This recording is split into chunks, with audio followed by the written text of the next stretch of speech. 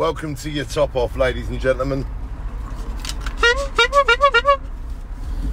Yes, we decided to come to Colchester this morning. We want to get our top off. And it is so hot, you'd be silly not. Life is something that happens while we're always thinking about things, but time is going so fast.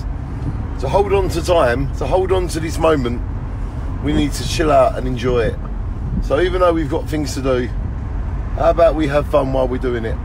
Let's have fun while we're doing things that we got to do. And then let's take our top off while we do it.